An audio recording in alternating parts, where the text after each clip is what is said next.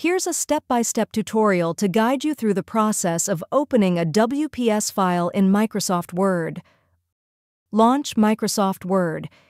If you're using Word 2010 or a later version, you're well equipped to handle WPS files.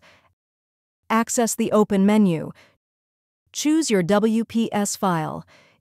In the File selection window, browse your computer for the WPS file you wish to open. When selecting the file, make sure to choose All Files in the File Type drop-down menu.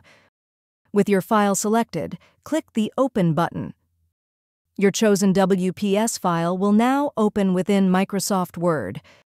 Feel free to explore and edit the content. Save your work. Should you wish to make changes or edits, click on the File option again and select Save As.